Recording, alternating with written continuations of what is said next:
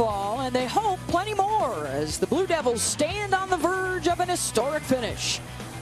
But it's an old nemesis standing in the way with a different agenda today and bold eligibility riding on the outcome. It's the Devils and the Deacons getting ready to roll.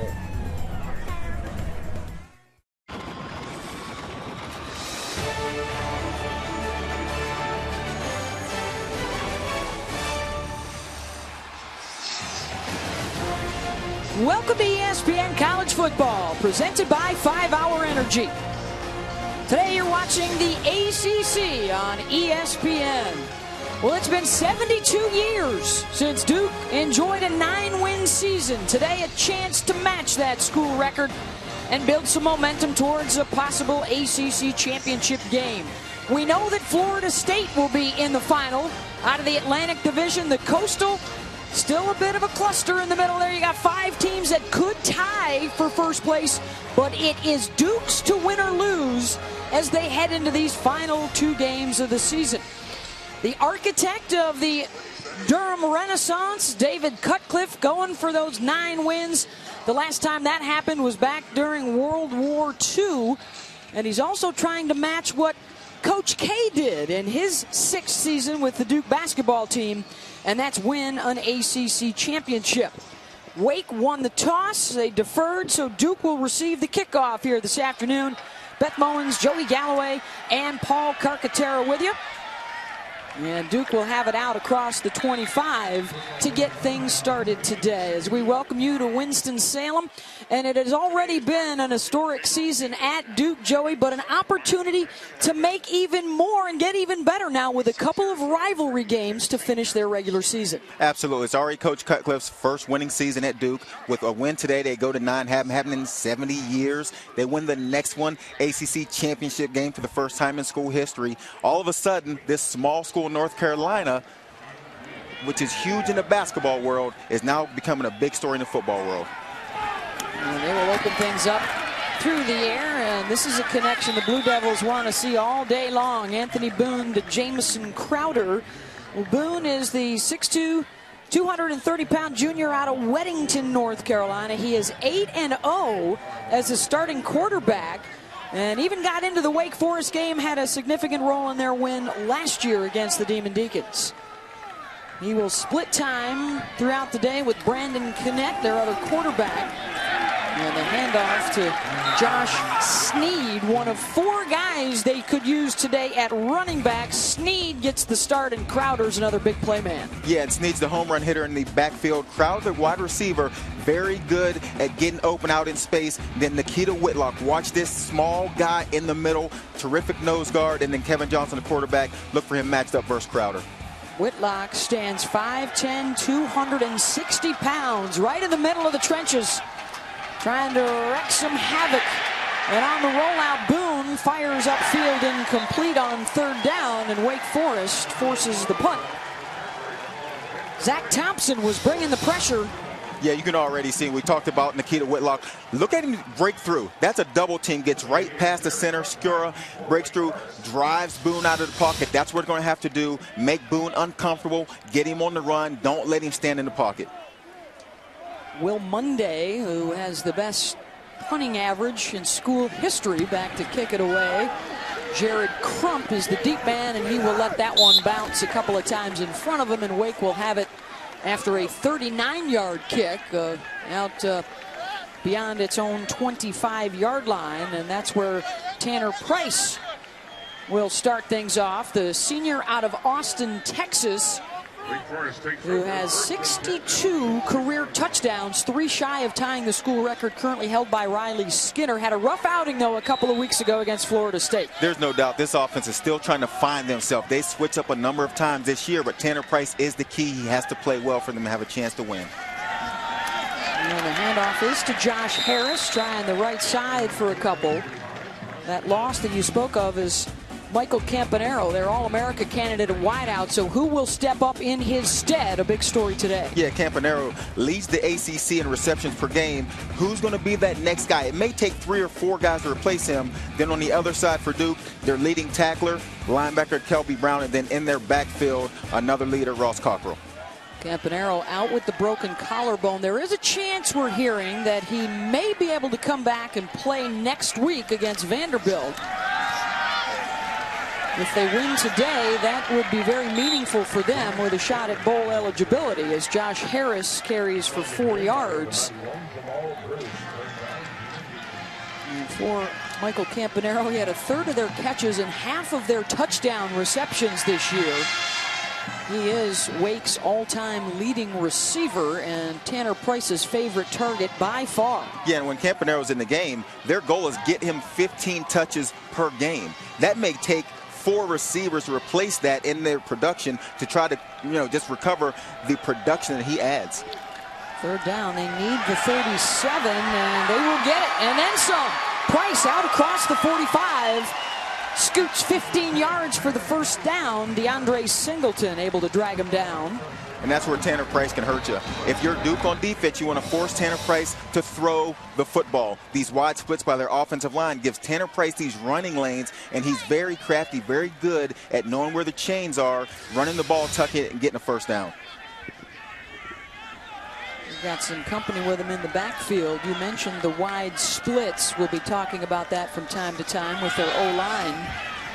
As Harris looks for some running room and plugging up that gap was David Helton.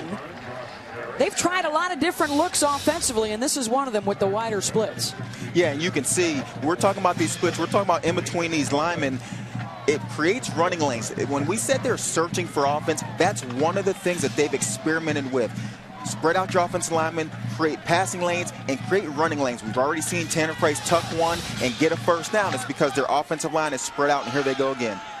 And they like the way that they can pass protect out of those splits, and certainly looks like a pass play here on second down. Plenty of time for Price, and a drop that would have been good for a first down.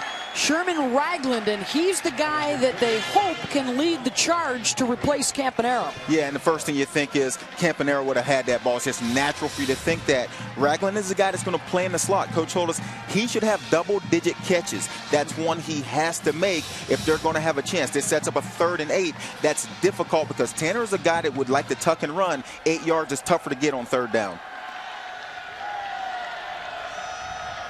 Third and eight.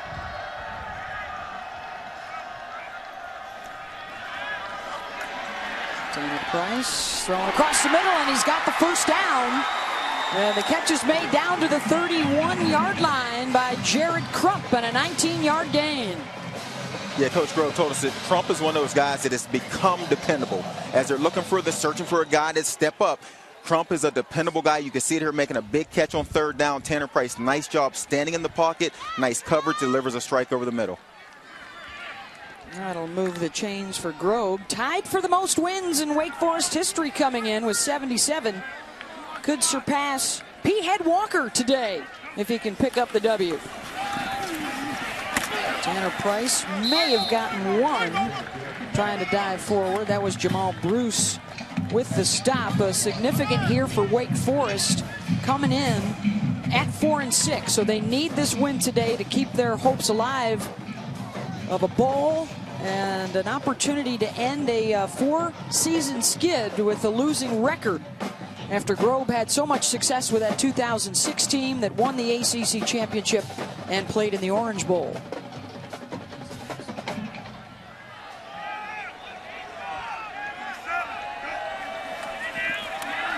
Price off a pump fake, now feeling it, and down he goes, back at the 45-yard line. Justin Fox one of three guys up front that's a fifth year or a sixth year player at Duke and a loss of 14.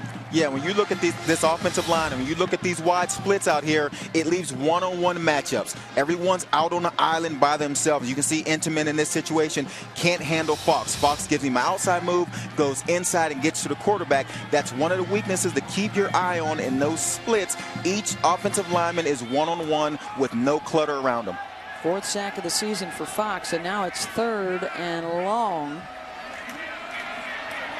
More heat coming right up the middle, and Price will throw it away. That was Kenny Anunike on the stunt coming inside, and it's fourth down.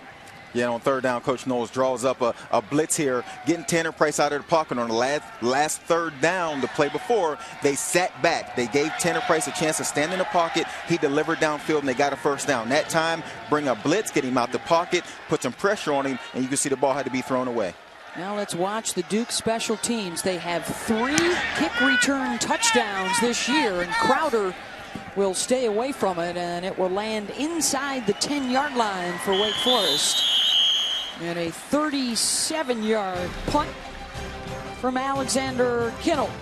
Scoreless early. With us yesterday and feels he uses his height to his advantage because the low man wins in the trenches and he's able to beat offensive linemen off the ball with quickness. Duke offensive line coach John Latina told me before the game, Whitlock is relentless and his second and third effort on plays is amazing. His message to his offensive line, play through the whistle.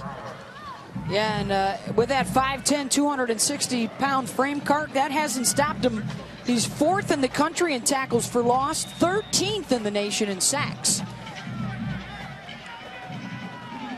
And he loves nothing more than to hear from opposing offensive linemen post-game, man, you were hard to handle today. And the run for Duke out to the 20, and that'll be a first down for the Blue Devils. That's Jalade Duncan, the sophomore from Charlotte. And you'll see Duke roll in three or four running backs today. They say you can throw them all in the back. Doesn't matter who's in the game. We call the same plays. Incomplete on the quick hitter looking for McCaffrey. They have those four running backs, each averaging over five yards per carry. An interesting little note about them offensively, it's not offensive coordinator Kurt Roper determining what back is in the game. It's actually their running back coach, Daquan Boyette, who will rotate those guys in and out of the backfield. It's Duncan and Shaq Powell now with Boone here on second down. This is Powell. Stood up after a short gain. Good push coming that time.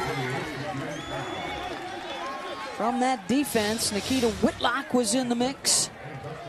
Yeah, and here's Whitlock in the middle. And again, there's the quickness and the strength. He's a smaller, undersized guy, but able to take up two blockers, letting the linebackers come in and make this tackle. But the little guy in the middle, because of his low stature, he's hard to move out of there.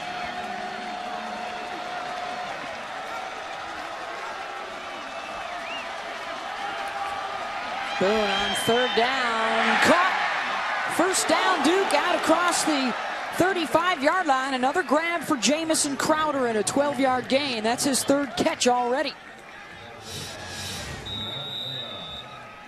See, does he hang on through the catch? I think that Ooh. one might be coming back if they take a look at that ball.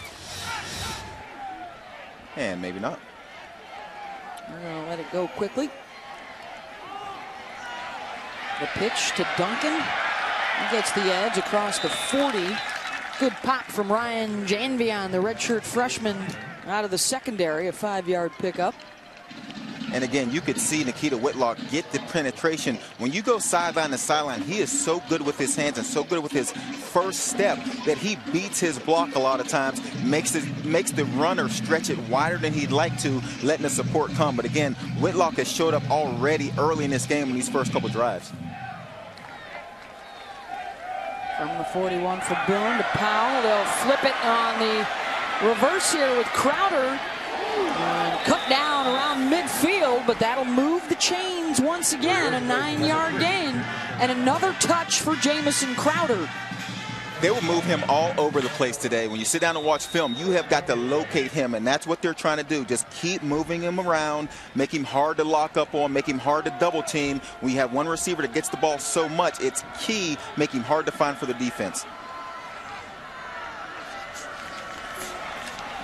Boone trying to cut it back against the grain, and he's inside the 45. Four Demon Deacons over to take him down led by linebacker Justin Jackson. Good vision by Boone here. Wants to go off to the right side. All of a sudden, sees an opening to the left, comes up, makes a guy miss, picks up eight yards. if they can stay in this second and two, third and two range, they're very good on offense because they're crafty, they run it well, and they can pass it efficiently, and they're hard to stop in these short distances. The Duke offense is putting up about 35 points per game And uh, coming off that huge win against Miami last week and a good tackle in the open field by Noel on Brandon Braxton. But another one of those monumental wins for them. They beat a ranked Miami team and had a huge fourth quarter to do it.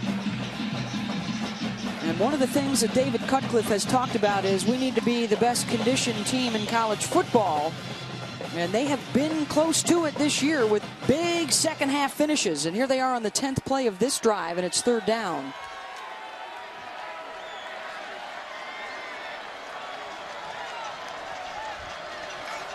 Crowder to the top of your screen.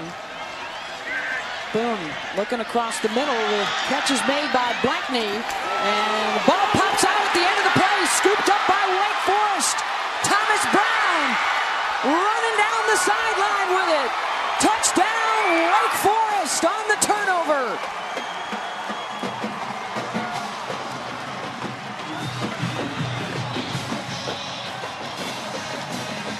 Fifty-eight yards on the scoop and score. I think we have, a, have to take a, a look at that knee of Blakeney on the backside here.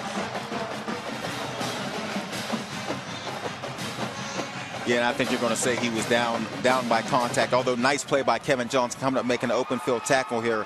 But Blakeney, the receiver, you've got to hold on to the ball and take the question mark out of it. Just squeeze the football. And remember, the ground can force an incompletion, but not a fumble.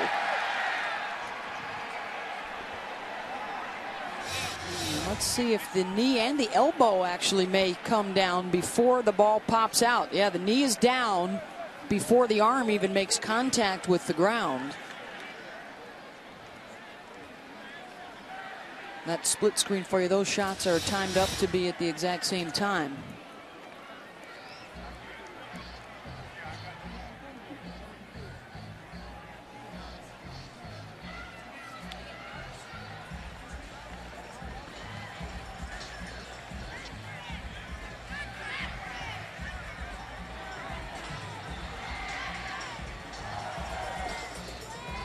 58 yards on the return. That would have put the ball at the 42 yard line of Wake Forest.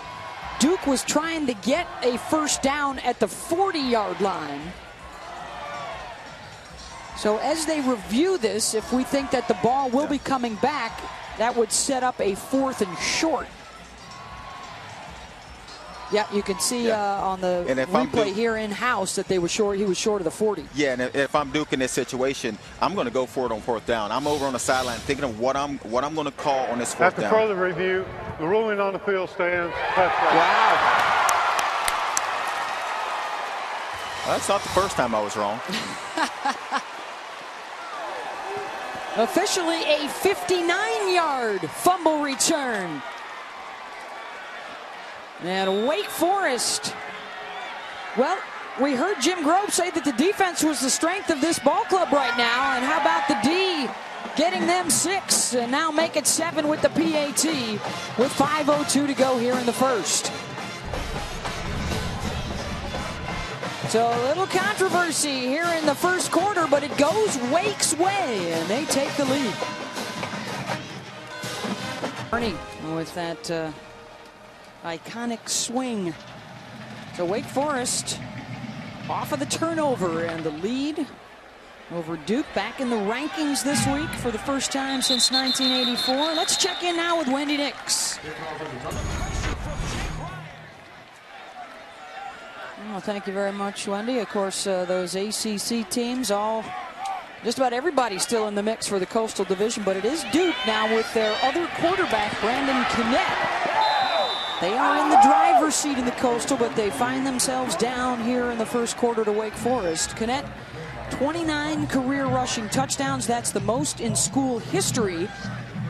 And he had the huge game against Miami. Four rushing touchdowns, one passing TD last week. Yeah, Connette is second in the ACC in rushing touchdowns. That's how good he's been from the quarterback position running the football.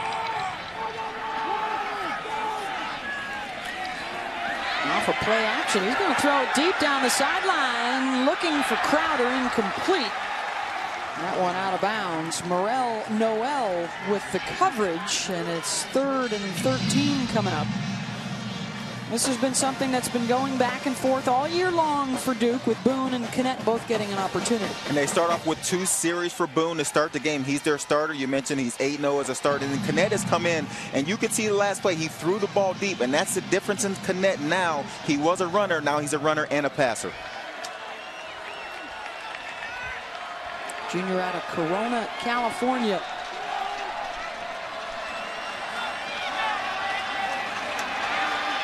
Stepping up and in the grasp, and down he goes. Desmond Floyd able to get him high, and it's the low man that wins. Nikita Whitlock had the ankles. You see, that's and that's and that's just a three-man rush, and you can see they get to the quarterback going with the three men. If they can get there and they can pressure Connette with just three men, leaving eight back in coverage, there's nowhere to go with the ball. That's the best way if you're Wake to survive. Three-man rush, get a sack, eight guys in coverage. Monday to punt it away, Crump back deep at his own 30-yard line. And off the side of the foot of Monday and out of bounds. And Wake Forest, I think, is going to have this one on the Duke side of the 50. And they will. Wake with the lead and the football from the Blue Devils 47. David Cutcliffe, uh, his club, redefining Duke football is the way he describes it. How about the last time that some of these things happened? Well, the last time Duke had eight wins, which they have right now. Back in 94, Bill Clinton was uh, in office. Two wins over ranked opponents. Duke grad Richard Nixon was in office. Back-to-back -back bowls. Oh, no president yet. But this year will be, in a couple of weeks, they'll be able to replace that X with Obama because they will be, uh, in all likelihood, headed back to a second consecutive bowl game. They are already bowl eligible at 8 and 2. And this is Tanner Price working with a short field. And Price out of bounds at about the 45 yard line after just a 25 yard punt to set up Wake Forest. It has not been a strong start for the Blue Devils. No, not at all. And, and the question is, and you come out, you not play well. Everyone's talking if they win the next two games, they go to yeah. the ACC championship game. No one's focused on Wake Forest. You've said it. I've said it. Everyone talking about this game is already focused on the next two, whereas Duke has got to focus on Wake Forest, and they're off to a bad start.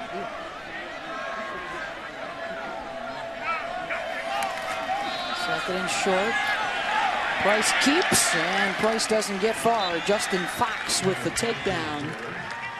Well, David Cutcliffe uh, duking it out probably with Minnesota's Jerry Kill for the feel-good story of the year in the college football coaching circles with the success that he's had after well, some pretty dismal decades of Duke football since uh, Wallace Wade departed uh, after tremendous success back in the 1930s and 40s. Of course, they had that brief stay for Steve Spurrier when they won a share of an ACC title in 1989 the rollout. And the catch is made by the fullback Garside. And the spot looks like will be enough for a first down to the 36-yard line. And Crump is the injured player. Got caught up in the pack at the tail end of the play. And we will take a timeout with 2.34 to go here in the... If they can go out and play Baylor football, uh, play the defense that we've seen him play versus Oklahoma. They got a chance to win that one.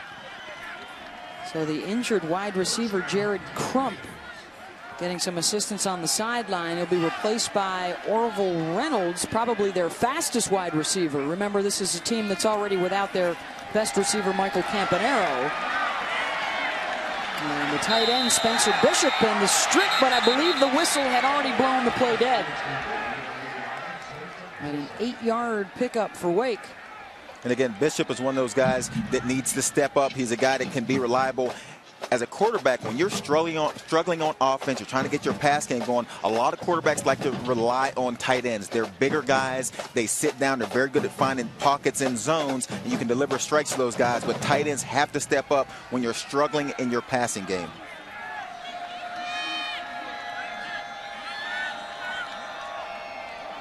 Harris is the offset back.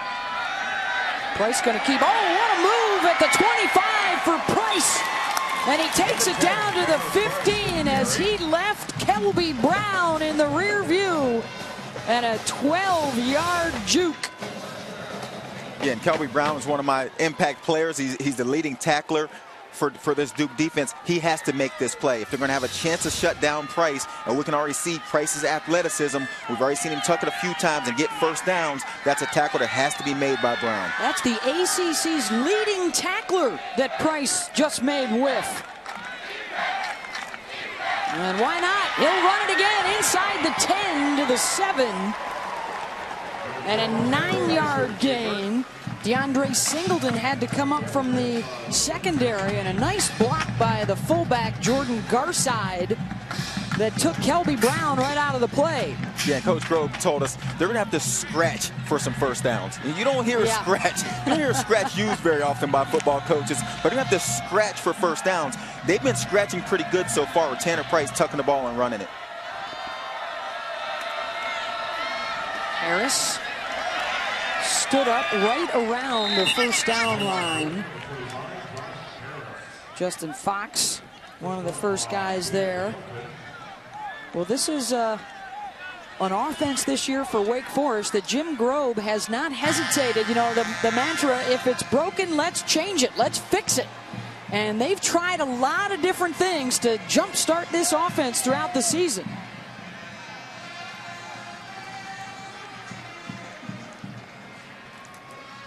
And they had not scored a touchdown in their last two games. It's a defensive touchdown in the first quarter. And now the offense knocking on the door. Third down when we come back. But it was Thomas Brown with the scoop and the score for the Demon Deacs. Here at Wake Forest and the Demon Deacs in the red zone and the drop in the end zone. That's twice today that Ragland has dropped passes. And that one costly because that was third down, so now fourth and one. Yeah, and I stay on the field and I go for this, and it looks like it with Tanner Price's ability to run for the ball, the success he's had so far early in this game. I like the play call. He was out wide. He could have actually run for the first down if he wanted. I do something similar. Keep the ball in his hands, give him an option, but it looks like they're going to split him out wide here setting up for a direct snap to the running back Harris. And Harris will try and run for it. And it's going to be close. Jamal Bruce with a good push coming right up the middle for Duke. Followed by Kelby Brown. And that spot. I think it'll be a little short. I think it doesn't look good for yeah. Wake where it is right now. And I've been wrong before, maybe one time, but I think uh, maybe yeah, I think this one looks to be a little short to me. That yellow line you see would be the estimate of where the marker is. And the chains are out there to decide once and for all. And they do get just enough of it. First and goal, Wake. I'm having a heck of a game so far. Um, it, it looked, it was the yellow line got me that time. It, they were short of the yellow line. All right, so now Jim Grobe has a few plays to work with, uh, trying to get this offense to punch one in. And really put the Blue Devils into a bit of a hole here. With all that's going on positively for Duke coming into this game, a bit flat here in the early going. And Wake trying to make them pay. Price throwing back. Had everybody moving right, and he sent Spencer Bishop out left.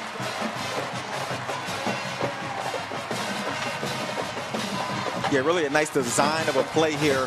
Roll out to the right, make everyone think that this is a roll right. Tanner Price showing the athleticism, comes back. It helps that he's a left-hand throw because that ball is not across his body. He's going back left, drops one to the tight end. Nice throw, nice play call.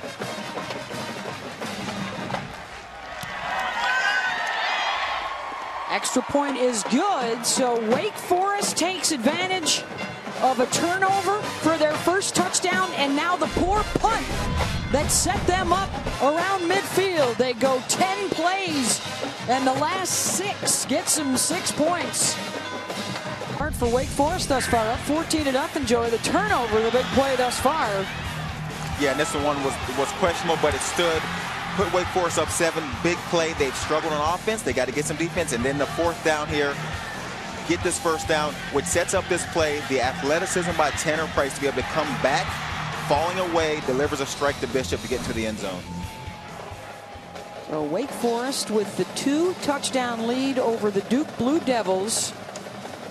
That last scoring drive, they only had to go 47 yards after the short punt. Will be back to Duke, and let's see what they can do with it. We've seen both their quarterbacks already today. And the return out across the 25-yard line by Devon Edwards. Let's check in with Wendy. Beth, thank you very much. Sports Center right now brought to you by Marmot. Takes us to the 130th edition of the game. 8 and 1 Harvard on the road at the Yale Bowl. Conner Hempel here connecting with Paul Stanton Jr. 14 0 Harvard at Yale. Beth? Thank you, Wendy. Always a big one in the Ivy League, Harvard and Yale. And here in North Carolina, the Duke Blue Devils now, they've struggled thus far with the football. And get it out to Crowder. He's been their playmaker thus far. Noel with the tackle. But here's what Duke has done. Three and out punt, the fumble, and then another three and out punt. For a team coming in averaging over 400 yards of total offense and 35 points per game, and a lot on the line. A loss today would not knock them out of the ACC race in the Coastal Division, but it would take away the car keys, and they would no longer be in the driver's seat. They'd need some help. And a flag here on second down.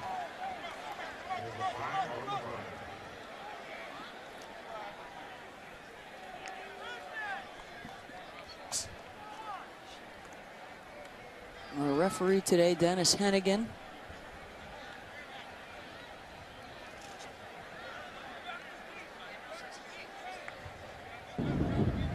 There was no foul on the play for illegal formation.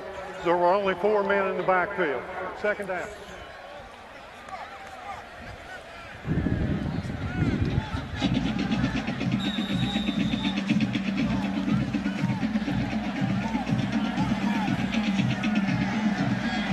Brandon Connette in there at quarterback.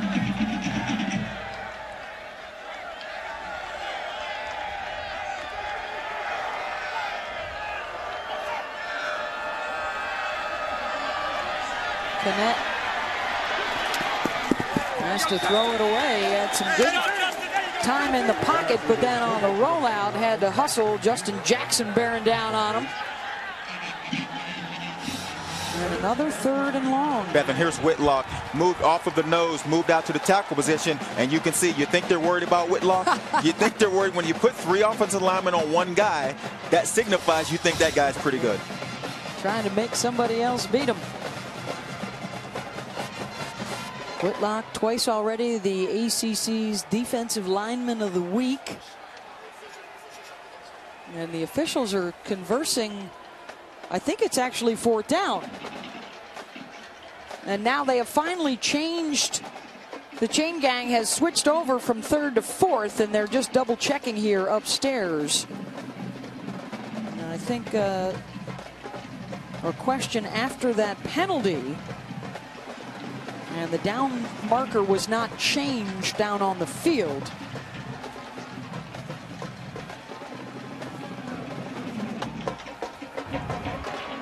The down marker was set incorrectly. It was actually fourth down. Fourth down. So it is fourth down, and the drought continues for Duke with their third down conversions, another three and out. And more work for Will Monday. Now, Jared Crump has been one of their kick return guys. We saw him get hurt earlier for Wake Forest, and it's mishandled inside the 10 by Kevin Johnson. Flags all over the carpet as Johnson is hauled down at the 16 yard line. And that was a booming blast by Monday, 66 yards.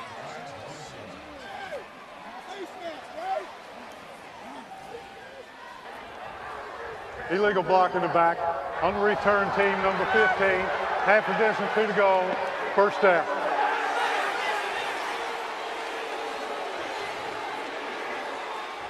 To Alabama, Florida State, they went out. They'll play for the national championship game.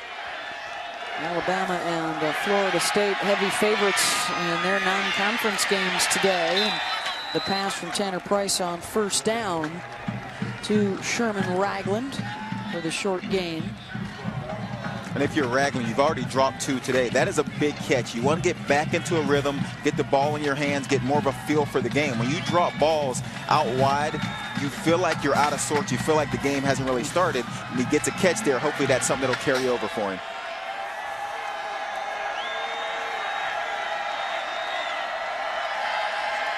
Duke with that 4-2-5 defensive alignment. They bring their front four, and the pass deep down the middle incomplete.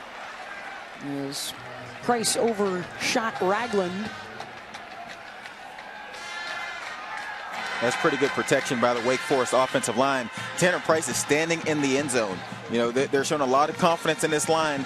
Tanner Price, that's his second pass from the end zone, standing back there, has plenty of time to deliver that ball, overshoots that one, but give the offensive line a lot of credit. Third and seven. And here come the linebackers blitzing up the middle, and they will get to Price. Down he goes at the four. David Helton crisscrossed with Kelby Brown to bring the heat. Yeah, you just see this a cross dog blitz with your linebackers. They're not going to let Tanner Price stand in there again. The first two plays, too much time in the pocket. What you do, Coach Knowles, send your linebackers after Tanner Price, bring him down. This should set up pretty good field position for Duke. They've struggled on offense. This could be key if they can get this ball on the plus 50 side, make it a lot easier on the offense. Can Duke special teams now make a play? Crowder couldn't get it. The wind whipping it around, and Wake Forest will down it around the 47-yard line. Duke in good territory when we come back. They are live. The court's dormant right now, but every August the pros come in here for the Winston-Salem Open, and of course uh, Wake Forest. Uh, good tennis program in their own right. Their football team right now leading Duke 14 to nothing. And they have held this potent Blue Devil attack to just 54 yards of total offense so far. And they might actually be taking a few off of that total with that loss. Yeah, and before this drive, Duke starting starting was averaging the 22, their own 22. So this is by far their best starting position. If they want to get back in this game, you got to take advantage of these situations, find a way to put points on the board, and losing a yard on first down is not the way to do that. Anthony Boone is back in at quarterback. Duncan is the offset runner. They'll throw to him out of the backfield, looking for a block on the outside, and he'll get inside the 45-yard line. It'll set up third and about eight. Janvion with the tackle. This Wake Forest defense today has done a really nice job of tackling out in the flats. On this last play, Janvion comes up. Plays before, you've seen Noel come flying up, tackle the screens out wide. That's a key part of the Duke offense is the screens, the quick throws out wide. You got to tackle, and the Wake Forest has done a nice job of that so far. Now they're going to line up uh, Whitlock towards the edge. Let's see how many guys Duke will throw at him here on third down. It's another triple team. Boone under duress. So many guys worried about Whitlock that the speed rush from Christopher Redding caused some problems. And here's Whitlock right here. And if you if you're a defensive lineman, the other guys, again, three guys paying attention to Whitlock, and you can see Redding gets the man-to-man. -man. You just have to beat one guy to get to the quarterback. You've got to be extremely happy you have Whitlock because he takes up all the attention. You're always going to be blocked by one guy. You beat one guy, you get to the quarterback. Four three and outs and a fumble here in the first half for the Duke offense as a flag goes down. And the Blue Devils will down this around the eight. That flag is all the way back at the line of scrimmage.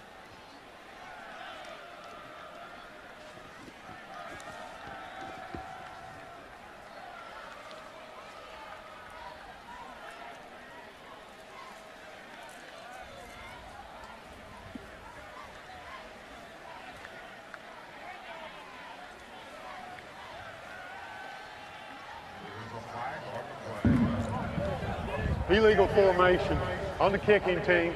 Five men in the backfield. That five-yard penalty will be added to the end of the kick. First down, Wake Forest. Very uncharacteristic first half for Duke uh, with a turnover, with a penalty. They're hurting themselves a little bit here. Let's check in with Paul Carcaterra. Well, Beth, not good news for Wake Forest wide receiver core. Michael Campanaro, you know the star, he's out with a separated shoulder. Jared Crump out right now with a right knee injury. It's wrapped his return questionable. And Wake defensive back coach Derek Johnson just told his group, guys, pinch in and make sure we recognize the inside game from a running standpoint. These guys aren't good enough or fast enough to beat us on the outside. Well, thank you, Paul. Down on the field for us today. The, the wind is whipping around a bit. We've seen that come into play. And, and quite honestly, Joey, both these teams having to create their own energy in this atmosphere here this afternoon. Yeah, when I was down on the field earlier today, you know, I thought as I as I was observing Wake Forest, I thought, boy, that I don't feel a lot of energy down there. But look at what they've done in this game so far. Turnovers create energy. You get a turnover, put in the end zone, it creates energy for your team, and they've played well. Tanner Price, they'll roll him out again, and he'll have to throw it away as Kelby Brown, the junior out of Matthews, North Carolina, was getting in his grill. Well, for Wake Forest, uh, on the season, the numbers haven't been good. They're at or near the bottom of the ACC in all of those categories. Getting a little boost from their defense today with a, a scoop and score on a fumble recovery. Coach Grobe told us their goal in this game, run the football. We have got to be able to run the ball and then pass it. This sets up a third and six, so it's a little tough here. Watch for Tanner Price maybe to tuck this thing and, and try to run for this, but running the football is key for this team today. Empty set for Price. Duke showing blitz and some movement False start. out on the edge. Offense, number 63, five-yard penalty, third down.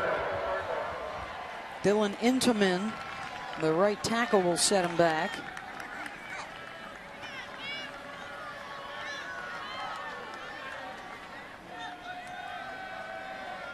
Does communication become an issue with those wide splits, Joy? Is a lot more hand signals or? Well, I don't think so, you know, because there's not a lot of crowd noise. I think if you're in a situation where you have a lot of people in the stands and there's crowd noise, you're at home, you know, it's not a packed house, you know, so they can probably hear me and you talk at this point. But, you know, they're going to be able to communicate by speaking.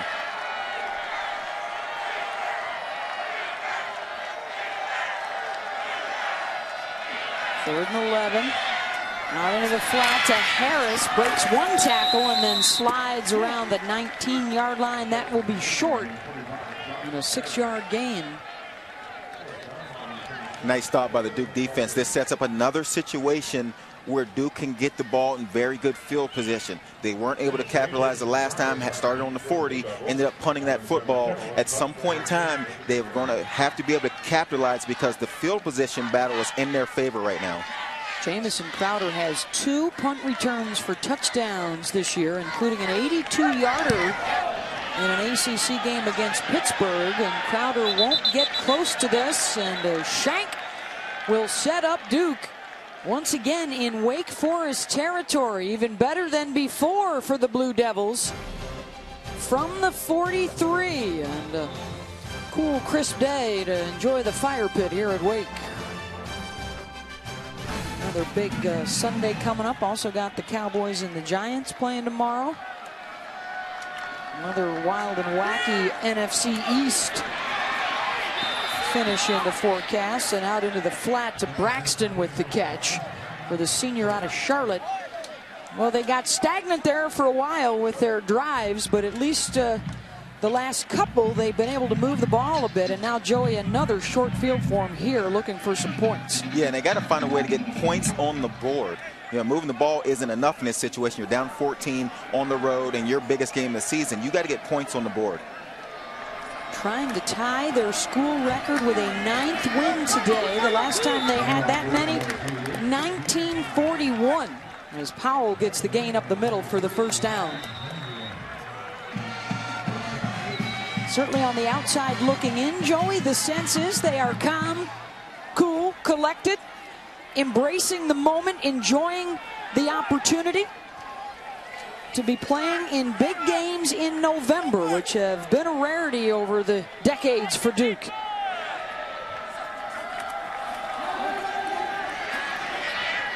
Boone connects to the 15. First down to Braxton Deaver, the tight end. 19 yards. This is a really nice throw by Boone, finding his, his tight end in the middle of this zone coverage. You can see it from Boone's perspective, right in back of the linebacker. Boy, that is one heck of a throw right in back of Olson.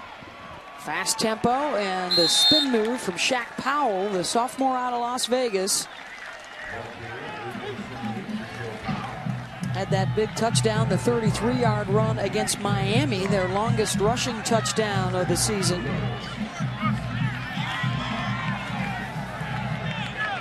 They'll stay in, offset. Crowder to the bottom of your screen. Boone, rolling out, finds Crowder, got the catch inside the five, touchdown!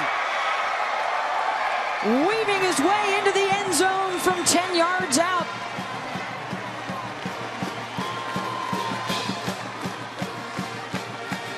The playmaker strutting his stuff. Now watch Crowder. This was Coach told us he changes directions better than anyone he's been around. Watch the moves inside, not not afraid to go inside and gets this ball to the end zone. Nice job by Crowder, finding a soft place in the zone and then making guys miss. Got a nice block, uh, unintentional from the umpire on that cut as well. So Crowder from 10 yards out, give him 34 for the day, 10 yards shy of a 1,000 for the season. And finally, the Blue Devils break through. Course, around the country this weekend, you've been hearing an awful lot about uh, the 50th anniversary of the JFK assassination. Paul Carcaterra's got a good uh, story for you coming up here in a second. One of the assistant ADs here at Wake Forest, Bill Faircloth, actually played in the only college football game played the night of the assassination, playing for Wake Forest over at NC State. One of just a handful of games played around the country that weekend as Wake will have it out at the 25. Here is Bill Faircloth now with Paul Of his life here in Winston-Salem. And a piece of history with that game played on the day of the JFK assassination as we get uh, back to the action on the field. And there's Bill. And he will uh, be remembered here for quite some time for his dedication to this program and all that he's done. And, you know, he mentioned that 2006 team. And, of course, this week a lot of folks here in North Carolina have been making the parallel between that 06 team that won the ACC and really came out of nowhere to do it, and this year's Duke team that is trying to win the ACC. They have not run an outright ACC title since 1962 when Kennedy was still in office. Uh, David Cutcliffe trying to change the course of their history a win here today and a win next week in Chapel Hill, and they will play Florida State for the ACC championship. That was a fun Wake team to watch too in 2006 with Riley Skinner and Jon Abbate and company. Here's a third down for the Deacs.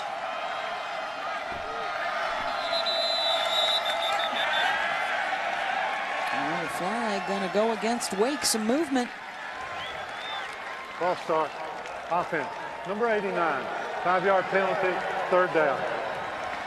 And that's a big call because it takes away the run option in this play. When you're third and three, the run is still a viable play call. Now when you go to third and nine, you're thinking pass. Now again, Tanner Price done a nice job in the pass game of tucking and running with this ball, but it just lets the defense know now this will be a pass play.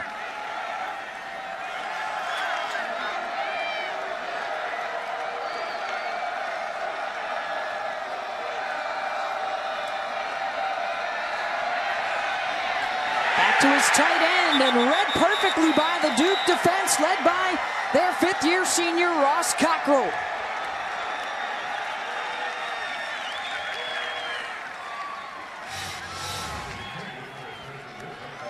You can see the play here. It's just a nice roll out to the right, and we've seen this before where they roll out to the right and throw back to the left.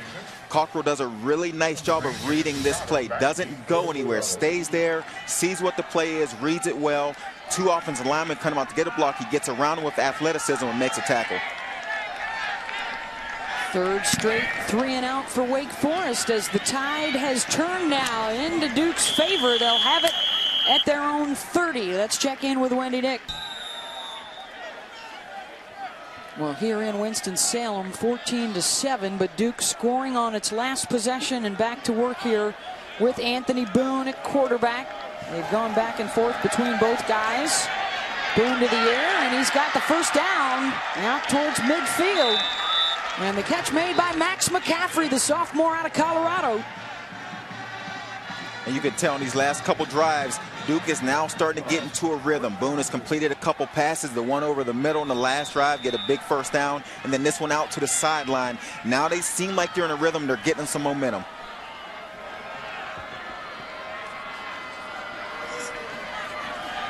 After the pass, they go back to the ground and into Wake Forest territory for Jela Duncan. So David Cutcliffe continues to mix it up. Of course, uh, Cutcliffe, his lineage goes all the way back to being a, a GA for Bear Bryant down at Alabama. His well-documented relationship with the Manning family. And success as a head coach in both the SEC and the ACC. One of just a handful of guys that has been an ACC and an SEC Coach of the Year. And last season got Duke into a bowl. They will go back-to-back -back bowling. And looking to tie the school record with a ninth win today. And they are going up tempo, Joey. Boone gets inside the 25. And especially on this drive, they're having a lot of success on first down, getting seven, eight yards. Set up these second and shorts.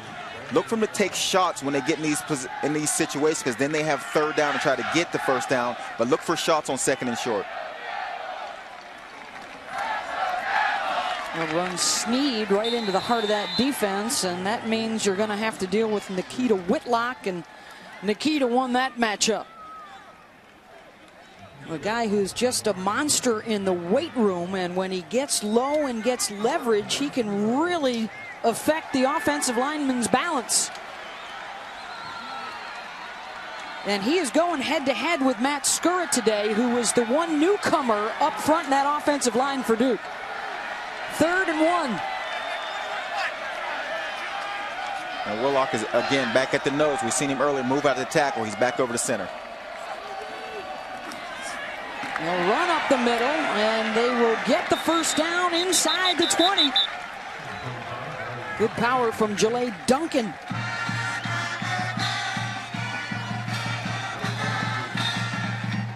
He was their leading rusher last year, led them in yardage coming into the game today. Quickly to the line.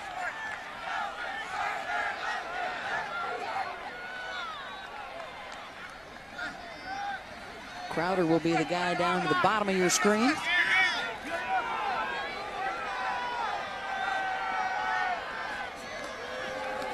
Boone looks that way. Now back to the left. And slipping is Duncan. Gets inside the 15. And again, success on first down, especially in this drive, has set up the next two play calls. Again, they get six yards here. It just opens up your playbook on second down. You only need to get three to four yards to get your first. It opens up every call you got.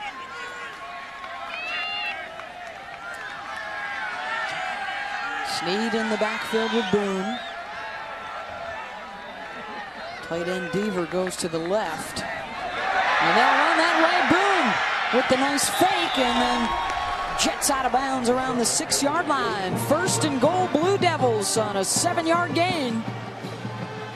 You mentioned the offensive line for Duke and, and how much these are these guys have played a lot of football. Besides Skura, the center, he's the only replaced starter for this season. But the other four guys have all played a lot of football. You can see it. They're starting to get honed in now. Every play they're getting three, four, five yards, and that's because the offensive line is doing a nice job up front. 24th consecutive start together for those other four guys, and here's their goal line specialist, Connette.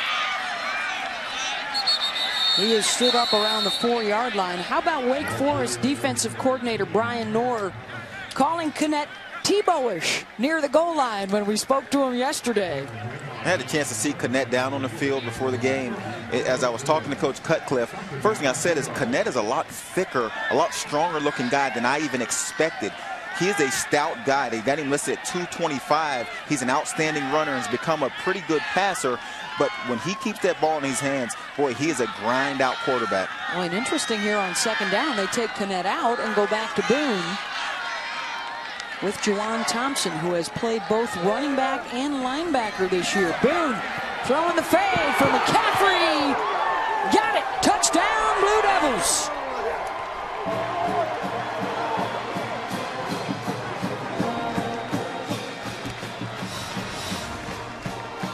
Max McCaffrey gets one down, good enough. Fourth touchdown catch of the year.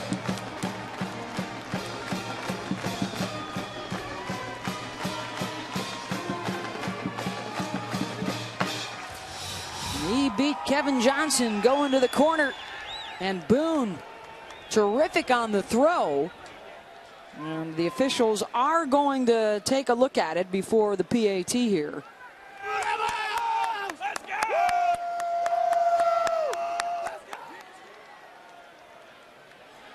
How about a 10 play, 69 yard review, drive? Ruling on the field is confirmed touchdown.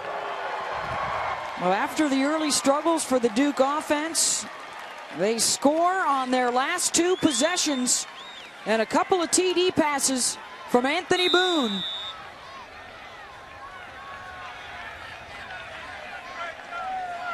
Ross Martin, the sophomore for the extra. And their career leader in field goal percentage adds the PAT. The joust goes to the wideout, Max McCaffrey to tie it.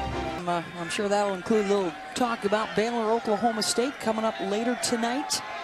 Baylor, one of now, uh, let's see, six remaining unbeatens. And Tanner Price tripped up as he got back to the line of scrimmage by Jamal Bruce. Duke has all of its timeouts if they want to use them here. And that's a coverage sack. Nice coverage in the back end. Nowhere to go with this ball for Tanner Price. Eventually has to tuck it. We've seen early in the game he would tuck this a little earlier and take off running. Now he's standing in the pocket, allowing the rush to get to him. Joey, you're surprised they didn't use a timeout there. They've got three to try and get the ball back here, at least force a punt. Price on the run out to the 29 as the clock continues to run. I don't think you call it. I don't think you call it if you're Duke. Not not that early. Not on first down. Wake Forest will call it here with 28 seconds to go and a big third down coming up for the Deacs. After they jumped in front 14 to nothing, got an offensive touchdown, a defensive score. I think if you're awake in this situation, you want to play it somewhat safe. You do not want to make a mistake. You've just given up 14 straight points. You get the ball back coming out in the second half. So I'd be safe with this ball. Make sure I do not make a mistake. Tanner Price says Duke will rush three, and the throw incomplete, and that will stop the clock for the Blue Devils here with 24 seconds and a chance for Duke to get the ball back.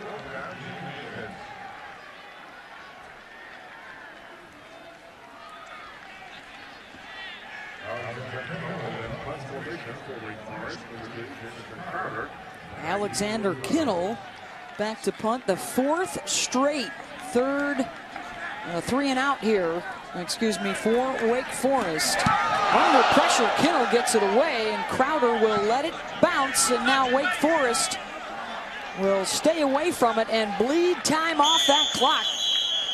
And Duke will have 12 seconds to go started off slowly, but these last two drives put 14 points on the board. That is going to be key for them to keep that rolling. They forced Wake Forest offense to punt it three straight times, so just keep that momentum going in the second half. First five possessions, 58 yards. Last two scoring drives, twice the yardage. Down to the field. 14. Now let's get you to Wendy Nix, Todd McShay, and Robert Smith for the Dave and Buster's halftime report. The offense and the offense got warm, put points on the board. David Cutcliffe telling our uh, Paul Carcaterra on his way off the field. He thought their team settled down nicely. Their defense really started to dictate too, and that's the unit that will be out there first to take on uh, the Wake Forest attack from their own 25. How about some of those key plays for the first half? It was all Wake Forest in that first quarter. Yeah, and this was the one that got it started. This the turnover. This the first seven points of the game for Wake Forest. Get this one into the end zone. And again, it just felt dead. And then here comes Duke gets back into this game with Boone making a nice throw to Crowder. His big play receiver makes a couple guys miss, gets into the end zone. And then how about the strike by Boone? Puts it up in the air where only McCaffrey can go get it. Nice catch by McCaffrey. Let's see what the response will be from Wake Forest. Five first downs and five punts in that first half. They only mustered 100 yards of total offense. They got the Thomas Brown fumble return for a touchdown. But then Boone took over in that second quarter. Their last two drives were both scores with twice the yardage that they had through their first five drives of the game. Wake Forest, what's at stake for them here in the second half? Well, they are at four and six, so they need to win today and then go into their Vanderbilt game next week with a chance to become bowl eligible. Down to the field now. Here's Paul Carcaterra. Well, I just spoke to Jim Grobe, Wake Forest head coach. He told me offensively they've been absolutely anemic. He said they can't run the ball.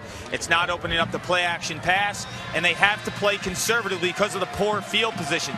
Defensively, he said they have to recognize when Duke runs from the quarterback. He said that's the trigger of this Duke offense in that second quarter. On the injury front, Jared Crump, the wide receiver, he will not return to the game with a right knee injury. Well, and you see the numbers on Grobe there. If anybody knows how to beat Duke and how to win against the other North Carolina schools. He has proven to be able to do just that.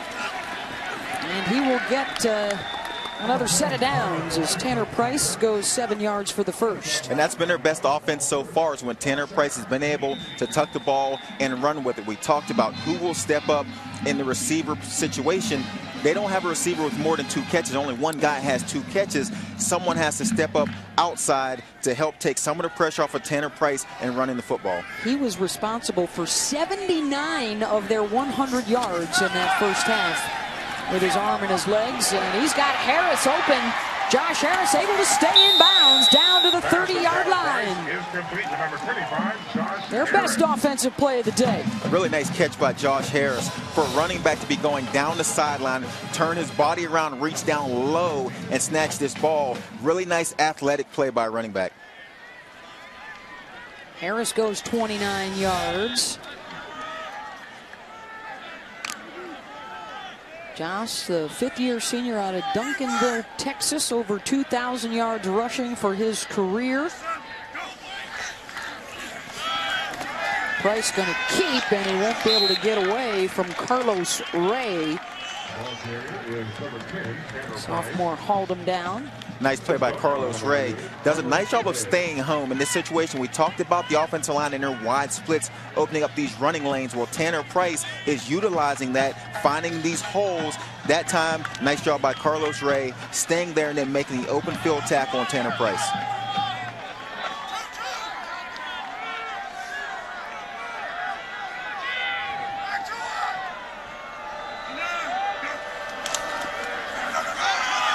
Try to reverse. They'll get inside the 25-yard line. Sherman Ragland was uh, on the receiving end of that. He goes six yards.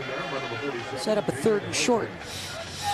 Nice block by Tanner Price. Hands this ball off and then leads around on the reverse. Just get in the way. Just make sure that your guy doesn't make a tackle. Good job by Tanner Price. Just getting in the way of Cockrell, not allowing him to get that back in on the tackle.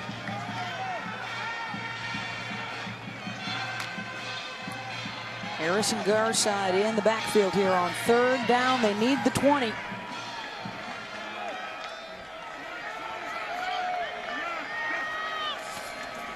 They'll run Harris to the right. He's got the 20, the 15, and down to the 12. First down, Wake Forest.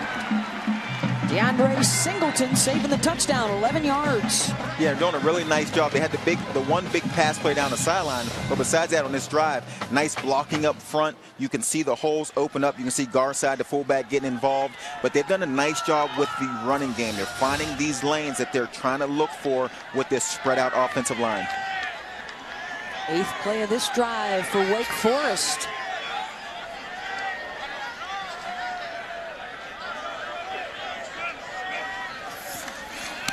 Trips left. Price is looking that way. Throwing into the end zone incomplete. Intended for Ragland, who got his feet tied up with the defensive back. Uh, Jeremy Cash, their strike safety. Surprised to see Tanner Price actually throw this football. That would have taken one heck of a throw to complete that. Had open field in front of him. Thought he was just going to tuck it and keep running. Yeah. May have been able to get it into the end zone from 12 yards out if he kept the ball and ran it. He was their leading rusher in that first half. Second and 10.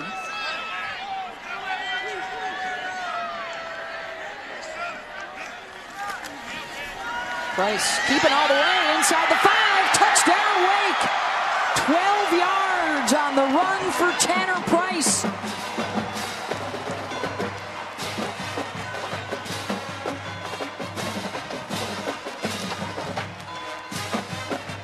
Sixty-third touchdown of his career. Now too shy of the school record.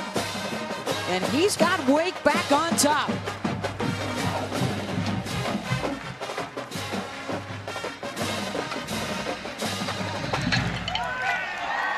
PAT is good from Chad Hedlund. And Tanner Price, the senior out of Austin, Texas. The nice hookup with uh, Harris out of the backfield for 29 yards. That was the big play on the drive. And Price will finish it off himself, and Wake is back in business. And on the ninth play of that drive, Tanner Price getting the defenders to bite on his fake, and he goes 12 yards in for the score. The Blue Devils start out around their own 22-yard line. Good coverage there by Wake Forest. How about the touchdown here, Joey? Yeah, if you watch Carlos Ray and David Helton in this situation, they're going to bite on the, on the play fake by Tanner Price. Tanner Price holds it, here's your lane, and then this guy's already wide because of the wide splits by the offensive line You talk about creating lanes to run the ball, those wide splits, that's when it comes into play right there. Defensive ends already wide, opens wide open. Tanner Price right up the gut. So now his counterpart Anthony Boone back out there. He's got a couple of touchdown passes today. First possession of this second half for the Blue Devils. He'll run the play fake, and he's got the first down yardage out across the 35 to John L. Barnes, the true freshman who they really love that youngster's potential. 15 yards. First half was a tale of two quarters for each one of these teams. Duke starting off slow, Wake Forest getting off to a much better start. Come out second half, Wake Forest puts one on the board. Let's see if Duke can answer.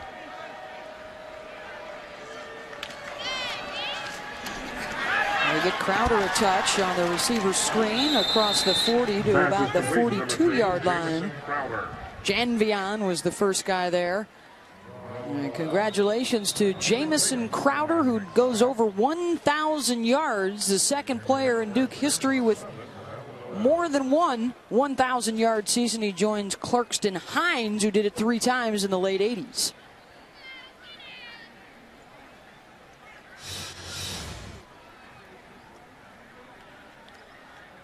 And the injury there is to number seven, Merrill Noel. On the lay on the uh, whip got caught up. And Noel has had a pretty nice game so Media far. timeout.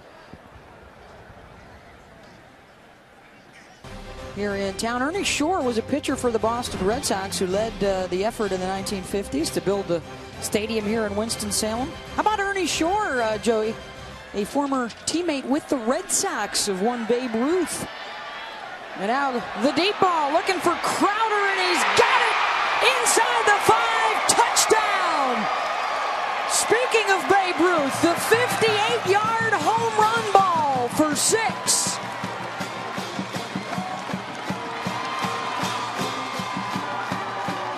you could just see the man-to-man -man coverage on the back end. I don't know how many times I'm going to leave Crowder, the number one receiver for Duke, one of the best receivers in the ACC, in a man-to-man -man coverage downfield. Nice throw by Boone. I believe that's his 10th straight completion and his third touchdown during that streak. Nice toss out there. Jamison Crowder, they're taking a look as to whether or not the knee was down. But on the snap, the play will stand. And the PAT is good from Ross Martin. Crowder, his second touchdown catch of the day. Three TD strikes for Anthony Boone. This one on his 10th straight completion.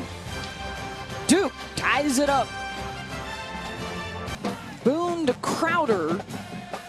77 yards on the drive that took less than a minute, and it's the second TD of the day for Crowder. And a week after Brandon Connette at quarterback scored five times for Duke, now their other QB, Anthony Boone, three touchdowns today, all coming through the air. As Connette's role has been uh, diminished a little bit because of Boone's success so far.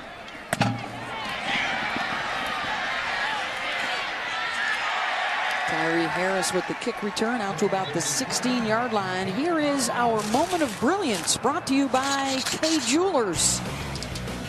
Beth, you see the long touchdown. I think if you look outside, I think this is a zone coverage. The safety is supposed to stay back deep, not let anybody behind him. As you can see, Crowder comes down the field here, runs the post route, no safety help in the middle for a touchdown. And I know, Joey, that uh, as a former wide receiver, you have an issue with DBs that don't do anything to knock a wide receiver off his intended path or don't take away any of his options, which appeared to be the case there with the coverage.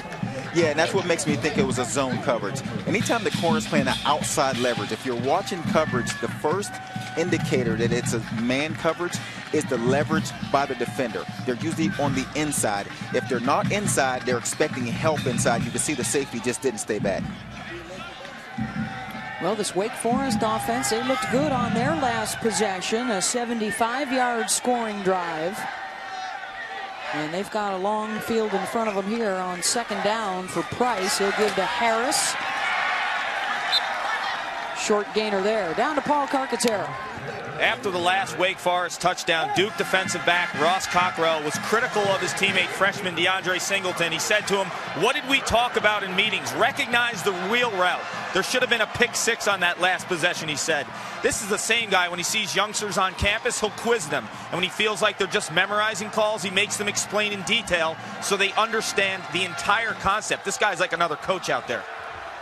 Well, and he's got to be, Paul, as the only returning starter in the secondary Sometimes he's playing with three freshmen beside him. They've got four rookies on their two deep in the defensive backfield. And Price scrambles for the first down for Wake Forest.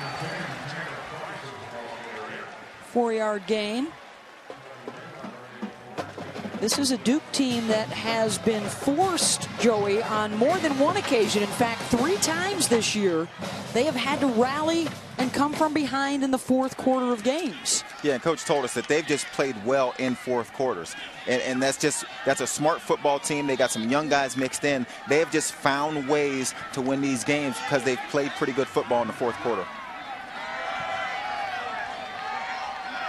They've still got uh, eight minutes to take care of in the third, and Price trying to get Wake Forest back on top, throwing deep down the sideline. Incomplete.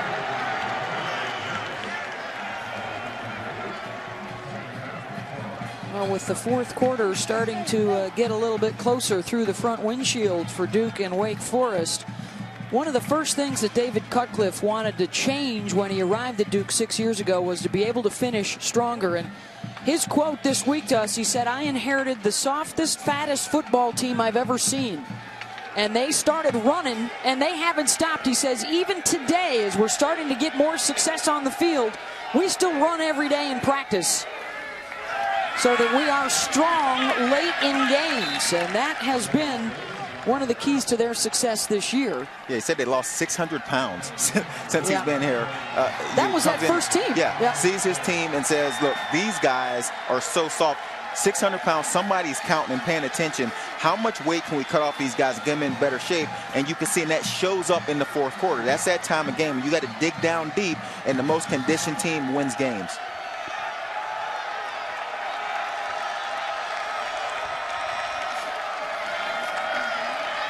Third down, Price, plenty of time, looking for Harris. There's one of those wheel routes that Ross Cockrell was just talking about, and David Helton throwing the blanket on Harris.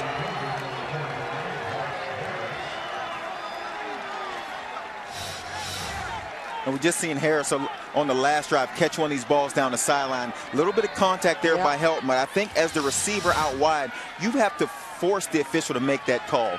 Use your body, get into the defender, and it makes a call by the by official. Here, he just keeps drifting. That's an easy no call. Crowder has not had an opportunity at a return yet today. Alexander Kinal gonna put it Jamison's way, and the fair catch signal is up at the 30-yard line. 40 yards on the punt. Oklahoma State averages 40 points per game. Anthony Boone back in at quarterback. Three touchdown passes today, and he's got a big play here to Jela Duncan out around the 45.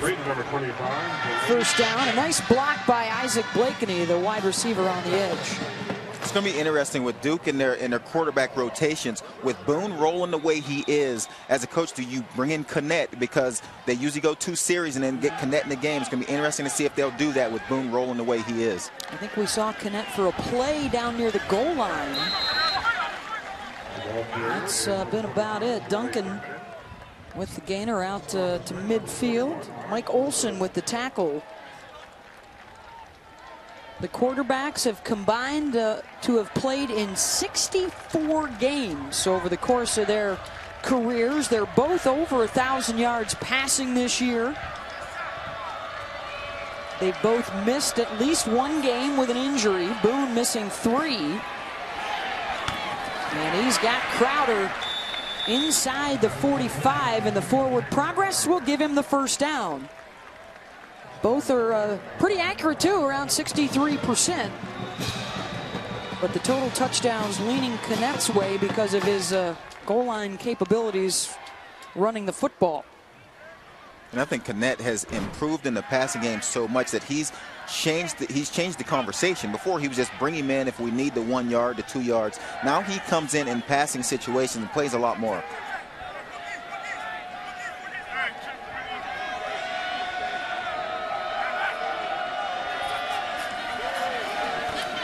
There's Connette again with the pass from Deaver, the uh, block rather from Deaver, the tight end who had lined up in the slot. How about nine catches now, Joey, for Jamison Crowder? And I expected him to get a lot more attention by the defense from Wake Forest. I would double team Crowder. He has nine catches in this game. I think the next guy has two, which maybe McCaffrey out on the yep. sideline has the two catches. You know, one of them was a touchdown. But if I'm the Wake Forest defense, I'm taking Crowder away from Boone and make him go somewhere else. He's over 100 yards again today.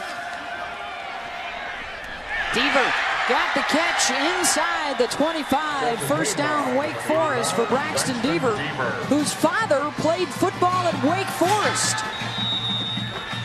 And now he's starring for Duke. Braxton actually went with his father to the Orange Bowl back in 2006 to watch Wake Forest play. And now Deaver trying to play in a BCS bowl of his own.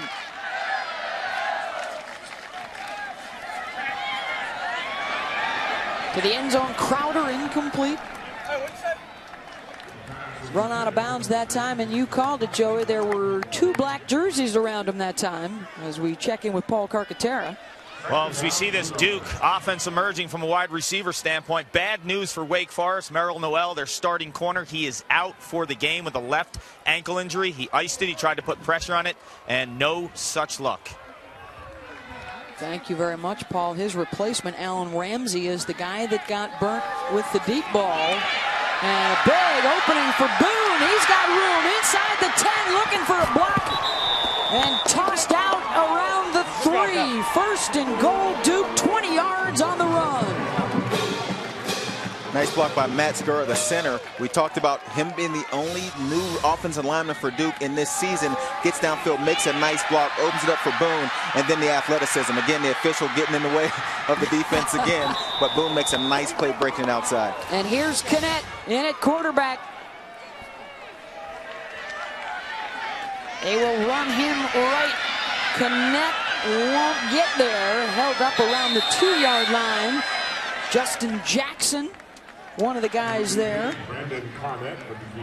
along with Zach Thompson.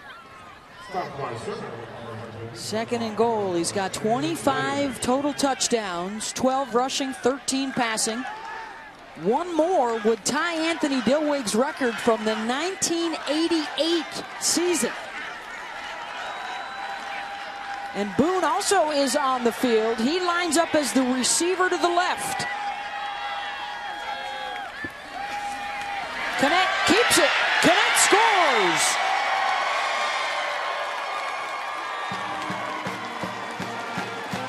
Twenty-ninth touchdown of the year for Brandon Connette to tie the school single season record. And he's got Duke on top.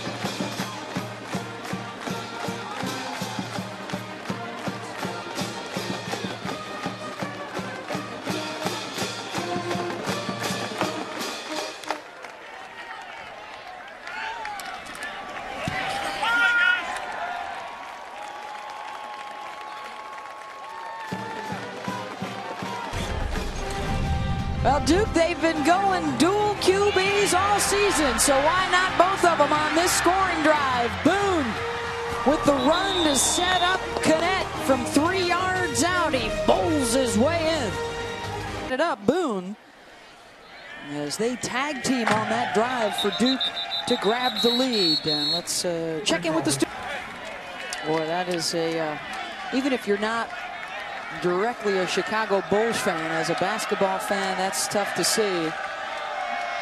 Derrick Rose, who of course was out all last year trying to come back for Chicago. And now Wake Forest finding themselves trailing for the first time today. And they'll get a shot in the arm here from a pass interference penalty. On Breon Borders. On the coverage of Jonathan Williams. Pass interference on the defense. Number 31, 15-yard penalty, automatic first down. Borders, one of those true freshmen in the secondary. Now, I think it was the grab before the actual ball got there that Borders got back into position, but nice call by the, by the official. He definitely grabbed onto the jersey to get into position to make a play on the ball.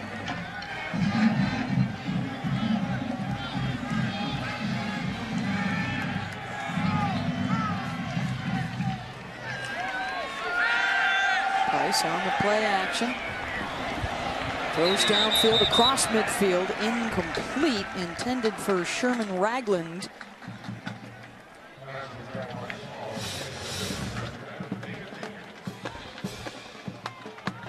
Yeah, the ball definitely doesn't get out there, but nice play call. Nice nice route by Ragland. Talked about him earlier. Had the two drops, then made a couple catches. This one, a play on the sideline, he's open. Tanner Price just ha has got to deliver this ball and give him a chance to make a play. Price just 7 for 18 through the air, 77 yards. As they continue to miss Michael Campanaro. Now their last two games without Camp, Price four interceptions and hitting on just 39% of his passes without his favorite target. He has come in and uh, sparked the offense a little bit better today as Campanaro watching from the sideline, hopeful to be back possibly to play next week after the broken collarbone against Syracuse. Yeah, you mentioned the passing here today, and this sets up a third and seven, another passing down. I think the best case scenario for Wake Forest, set up in a passing situation and see if Tanner Price can find one of those running lanes and keep the ball in his hands on the ground for a first down. Four men coming after Price. Drops it off underneath to Ragland. Lunging for the first down marker, which is just on the other side of midfield, but there is also a penalty flag.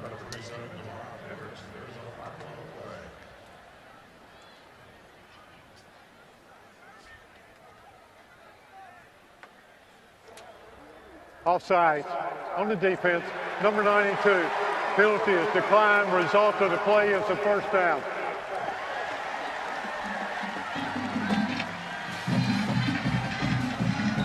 So a couple of inter, a couple of penalties here on this drive on the Duke defense, helping Wake move downfield. And the lunge across appears to be enough for the yardage there, and they'll go ahead and take the play. First and 10. Harris gets to the outside, Nice play out in the open field there to make the tackle. Breon Borders, six yards on the pickup. Nice blocking up front, and then nice play by Harris. Made a couple guys miss, getting this ball out wide. And then Borders comes up, makes an open field tackle. Corner on the running back. That, that's a tough play to make with that much open space, but Borders does a nice job getting him down. 14 carries now for Josh Harris for 53 yards. He comes in motion alongside his quarterback. It's Harris again. Jordan DeWalt-Ondijo with the tackle.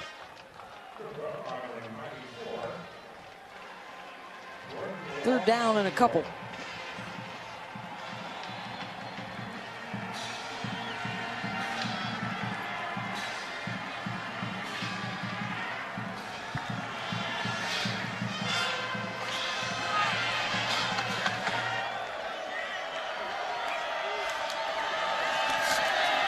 Price keeps, and he's got the first down to keep the drive alive. Under 40 seconds to go here in the third. Wake driving to try and tie it up.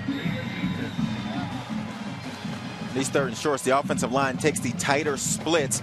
They don't want to leave these gaps on, on short downs. They don't want to give you know the, the, the Duke defense a chance to shoot a gap. They tighten down, nice blocking. Tanner Price finds a little hole, only need to get three, gets about four yards there, but nice blocking up front.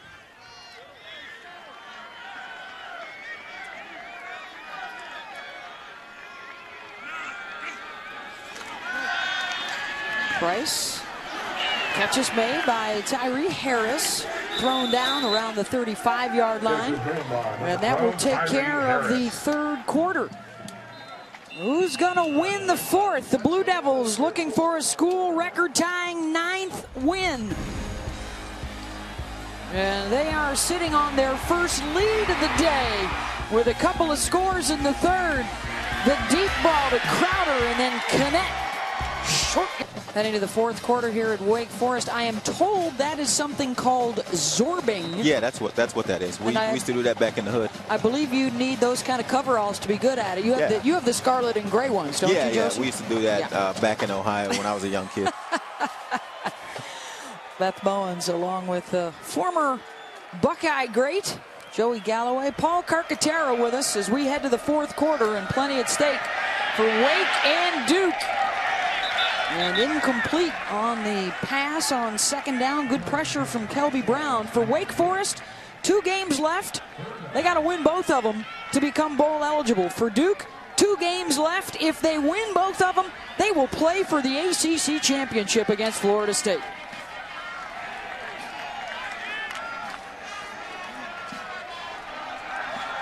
Third and six.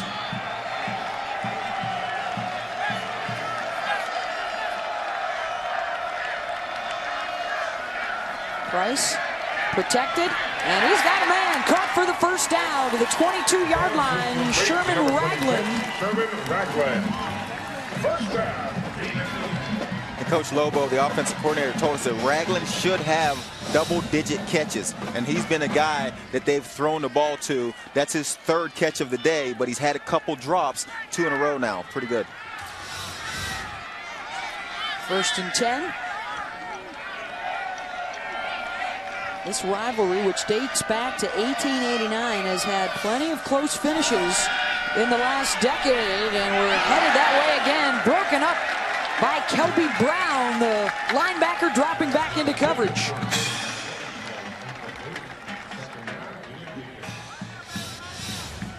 It's nice play, play by Kelby Brown out in space. You said he leads the ACC in tackles. Here he is back in pass coverage he doesn't make that play, that's a complete pass by Tanner Price. Nice play by Kelby.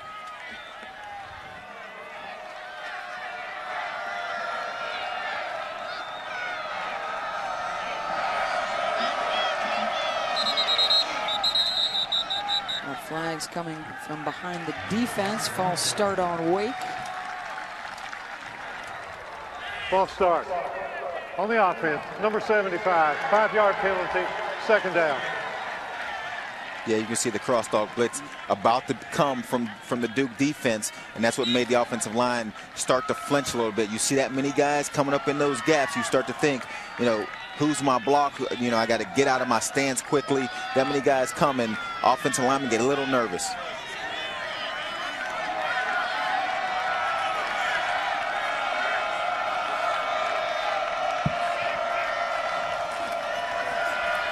Four-man rush again. Almost got pressed from behind, and they do. Tripped up by Kenny Anunike, the sixth-year senior out of Galena, Ohio, on a seven-yard loss. Here he is up top. Able to stay alive. And again, there, there's the wide angle rushes that you have to do with this Wake offensive line. Enough athletic ability to still come around and get a piece of Tanner Price's foot and take him down. That was big, too, because it bumped them out of their comfort zone in terms of field goal range. Third and 22. Here comes the blitz. And there goes Price all the way back at the 48-yard line. Anunike got him, but it was Corbin McCarthy who was flashing off the edge and a 13-yard loss. Yeah, another blitz. Another blitz, this time from the safety position. Coach Knowles, you've seen every time that Wake Forest has crossed the 50, he's sent a blitz. He's trying to get him uncomfortable, get him out of it, out of their rhythm. This time knocks him out of field goal range and gets the ball back. Big from the Duke defense. The last two plays, 20 yards in the wrong direction for the Demon Deacs, who will down this punt inside the five.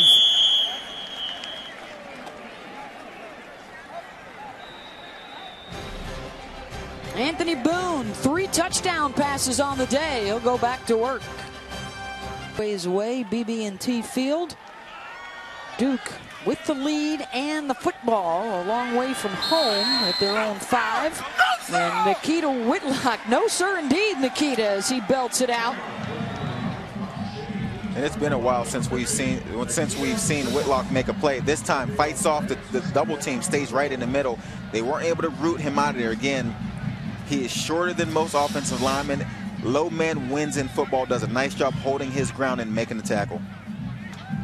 They just love his effort as he brings it on every play.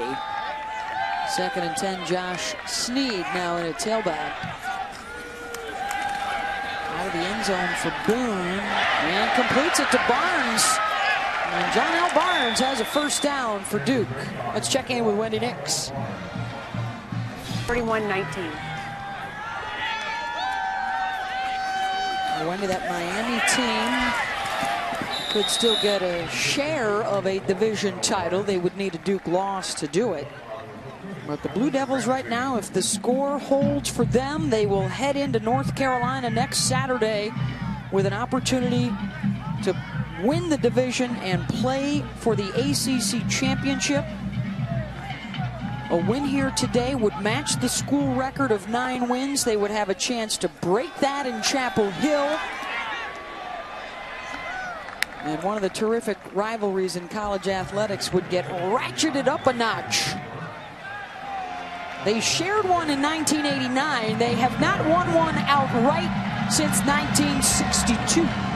There's only been two teams from the Coastal Division to play an ACC championship game. That's Virginia Tech and Georgia Tech. Duke with a chance to be that third team. And again, that's that thing that vaults them to the national spotlight. You know, not just uh, something done here at Duke, but something national if they can get into the championship game. Boone on third and five. The completion and the tackle to prevent the first down. Thomas Brown, who had the fumble recovery for a touchdown in the first quarter, makes the stop. So an opportunity here now for Wake to flip the field. Kevin Johnson back around his own 35-yard line as Will Monday gets set to punt it away.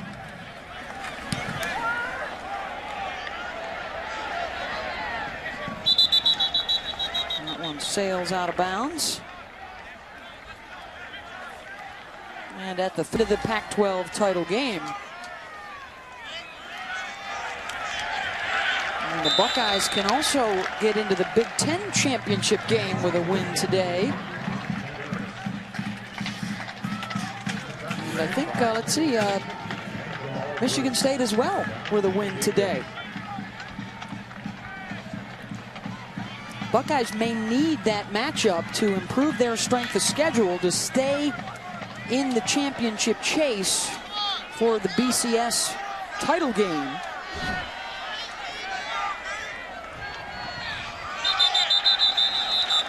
Still looks like they would need Alabama or Florida State to lose a game. False start. Offense. Number 73. Five-yard penalty. Second down. And Stephen Chase with the false start which is their second false start in the last two drives. And I think that the defensive line from Duke and Anunike, especially on that right side of defensive line, has started playing very well in these past two drives. Couple sacks, gotten some pressure, tackles for loss, and I think it's shaking up this offensive line from Wake Forest. Price across the middle, caught out around the 44. First down, Wake Forest. 19 yards to Tyree Harris.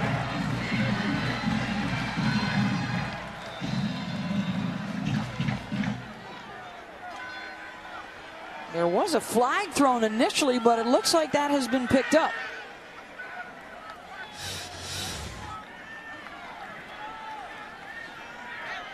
Is there a hold right there on, on Anunike on the takedown? Is not called. Harris running to his left, picks up a few.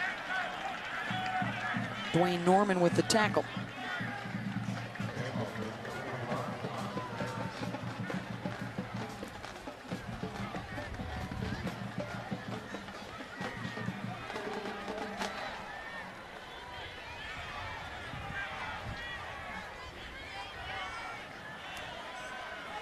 Under nine minutes to go.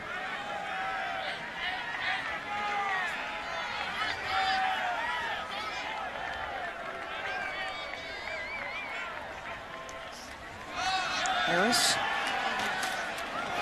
takes a big lick and the ball is out. Duke says they've got it. And they do. Justin Fox jarred it loose from Josh Harris and Kelby Brown recovers. Just mentioned the play of the defensive line for Duke, and then and then here they come up with a nice play here. Justin Fox coming across, staying alive, nice hustle, coming from the other side of the field, come across, get a hit, get that ball out on the ground. This is a big play because it gives the ball back to Duke near the 50-yard line, and that's what happened in the second quarter when they turn things around. They start getting good field position. This flips field position gives Duke the ball back with an optimal chance to score. It was Fox that finished off Harris. It was DeAndre Singleton who got the first hit on him. And a nice move by Powell for extra yardage. Well, we mentioned earlier about David Cutcliffe and his lineage leading the renaissance in Durham for Duke football and a, a, career that started with Bear Bryant down at Alabama. We asked him this week, what do you think the Bear would love about Duke football this season? And one of the things he told us was he would love how we hit hard. And they did right there to force the turnover.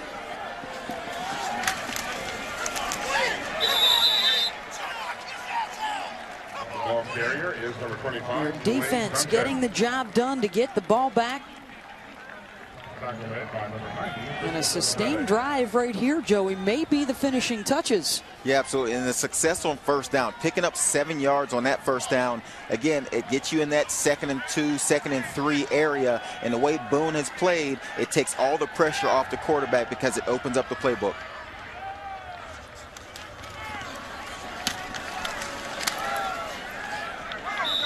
Jela Duncan up the middle. We have seen from Duke uh, Boone, for the most part, from the 10-yard line to the other 10-yard line. We've seen Connette come in short yardage at the goal line.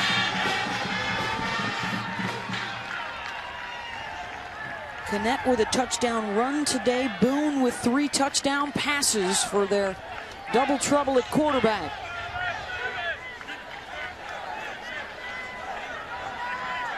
When you talk about a team effort, they've run in four different guys at tailback. We've seen a handful of guys at receiver catch passes today. Here's Paul Carcaterra. On that tackle, Nikita Whitlock, he was spirited that last time out. He told his unit after their last stop, we're going to win this game because of defense. We need stops. We need takeaways.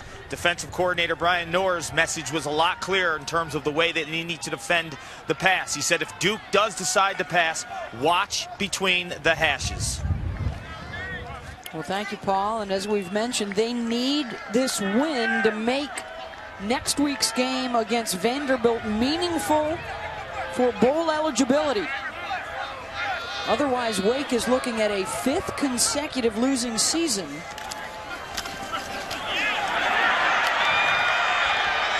Boone, little misdirection. He'll keep it, get inside the 30. Taken down there by Janvion and Thomas Brown. And this play has opened up because of the success of the run game. And we have not said enough today about how well their offensive line has played up front with their blocking. You look at Cofield, Harding, Skura, Tomlinson, and Simmons. Those guys have blocked extremely well, and that's why those plays work. You have to respect the run game because the offensive line has opened up holes for the running backs. Third and three.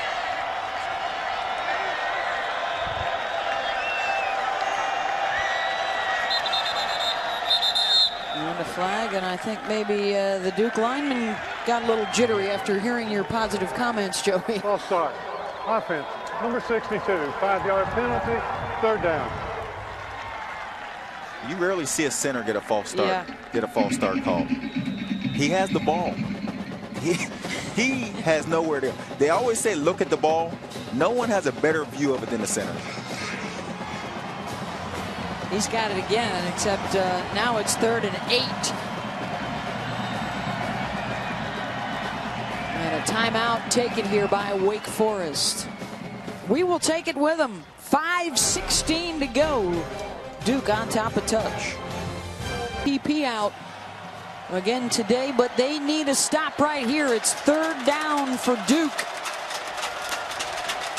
trying to roll down the field to clinch this one, and they will get the conversion on the third down pass to Brandon Braxton.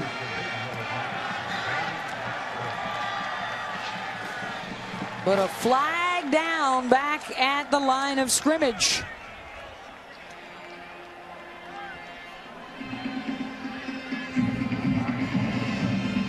It's coming back. Cody on the offense, number 74, 10-yard penalty, third down.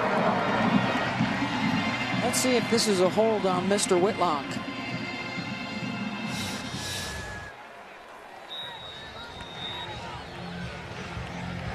And it is. We've seen double and triple teams and still can't contain Nikita Whitlock. That'll cost them first down yardage. Third and 18. Boone drops it off underneath to Powell, and he will not get to the marker with 4.45 and counting to go. They would be within field goal range of their kicker, Ross Martin. And they will give him a shot at it. How about the wind issue today?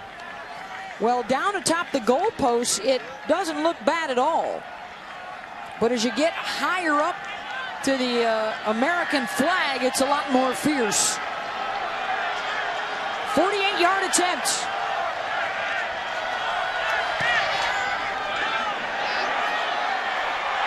No good. And Wake Forest will have an opportunity with four minutes and 11 seconds. Down a touchdown.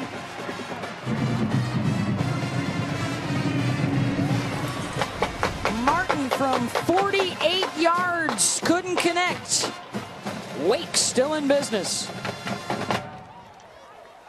And networks at some point today. The biggest of which would be Baylor and Oklahoma State. So here we go with 4.11 to play. Wake down a touchdown. They need to win this game to play for a bowl bid next week against Vanderbilt. And of course, on the Duke side, they are trying to tie the school record with a ninth win of the season. and head into Chapel Hill next week with a chance to win the bid to get into the ACC championship game out of the Coastal. Tar Heels are doing their job today. They are mauling Old Dominion on their way to a fifth win in a row. Pass deflected and batted back by that front line. I think it might have been Justin Fox who got it. Beth, you mentioned the conditioning of this Duke team and how well they've played in the fourth quarter during the season. Three minutes, 42 seconds left up by seven. Your defense is on the field for a third and four. These are the moments that will define your season. You talked about this being their biggest game of the season and sets up the next game, but these are the times when you got to put these games away. This is what they've been good at.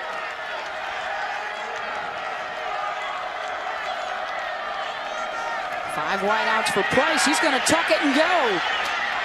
And the second effort will get it for Wake Forest out to the 41.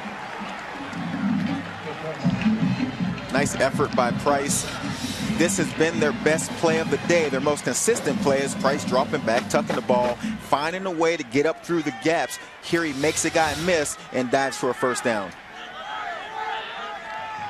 Under three and a half to go. Wake still with a couple of timeouts.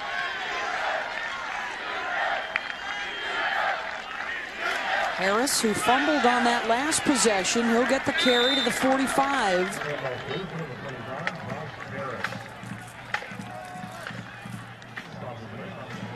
Three minutes to go in regulation.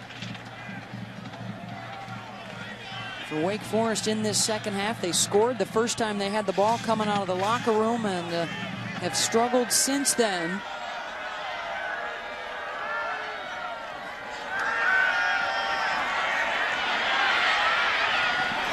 Incomplete on the pass to the 40-yard line. The coverage from Ross Cockrell and a flag down. Flag on the play.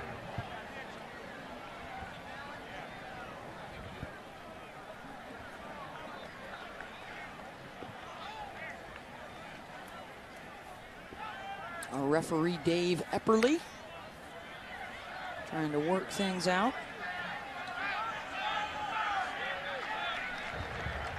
Holding on the offense, number 73. 10-yard penalty, second down. Second time in this fourth quarter for Stephen Chase. Second time on this drive.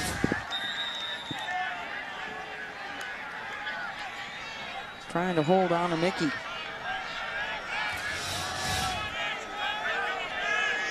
Yeah, not not much. I didn't think there was much on the one they called versus Whitlock either. Yeah. So, you know, if that's the way they're calling, that's the way you have to play the game.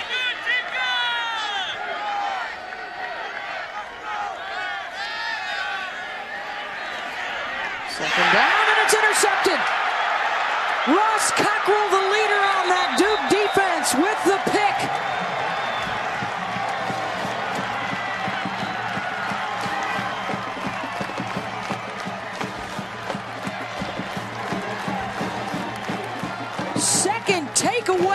the fourth quarter for this Duke defense. Anunike has played a whale of a game here in the second half. He gets the pressure. He's the one that gets the price, makes him throw this ball, and Cockrell just makes a nice play on the, on the ball. The importance of this play, they're already in field goal range. They're up seven. There's only two minutes and 30 seconds left. Just protect the ball and put something on the board. Another record to add to the list for Duke this year. Cockrell with the pick. In the fourth quarter, yet again. A 28-21 lead. They are now two and a half minutes away from a showdown with North Carolina in Chapel Hill next Saturday for the right to advance to the ACC championship game.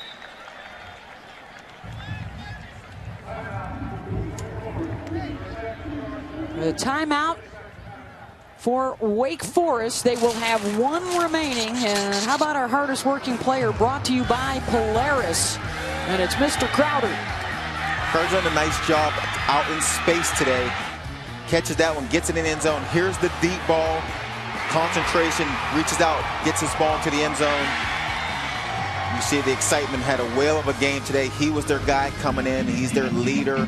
You know, he, 10 catches, 121 yards. That's what they expect out of Crowder, and he showed up again today. How about the 58-yard touchdown catch as well? The eighth TD of his career of 50 yards or better. Wake will have one more timeout to use. Second and seven, Boone.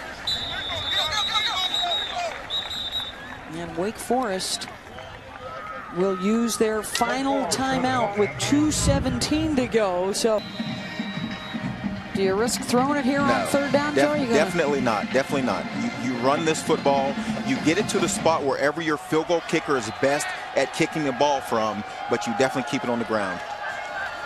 And it will be Boone. Now keep it in his hands. And the push forward, it's going to be close.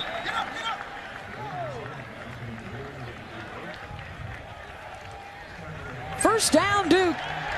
No timeouts left for Wake. 2.12 to go on the clock, and now it's running. And I'm surprised Connette was not the quarterback in that situation. I think it just speaks to how well Boone has played in this game. He's typically known as the passing quarterback in these situations, but they've gone with him. He's played so well, center. He's run the ball well. He's passed it well. He's managed the game very well. And you've seen on a third and short when everyone would think this is Connette's moment. Boone, stay in there, keep the ball in your hands, and make a play like he's done all day long. Seven carries for 57 yards on the ground, 24 of 29 passing for 256 with three touchdowns.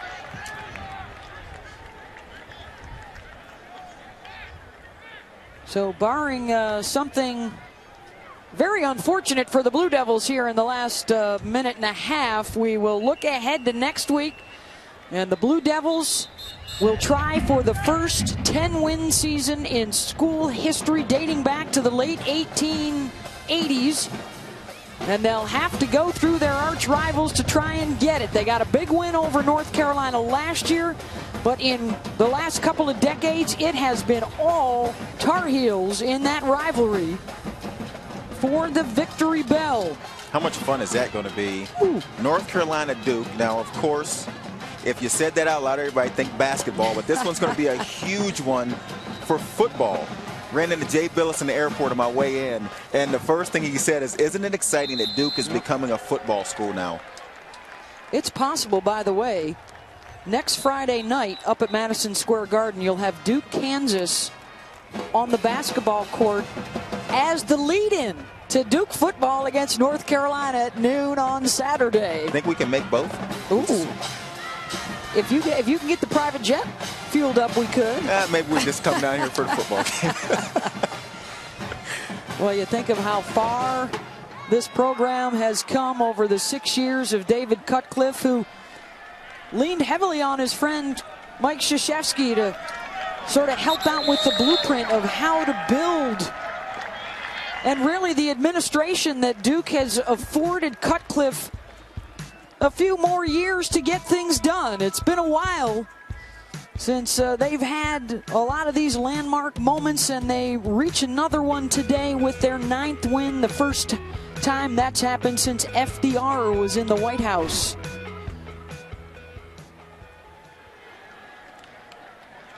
And the fist bumps underway in the final 30 seconds. So get ready, Chapel Hill. The Tar Heels will be riding a five game winning streak. And the Duke Blue Devils will have an opportunity to play for the ACC championship if they can win on the road. 28 to 21, the final score. Anthony Boone with three touchdown passes. Brandon Connette with a touchdown run. Crowder, 10 catches, 121 yards receiving, and two touchdowns.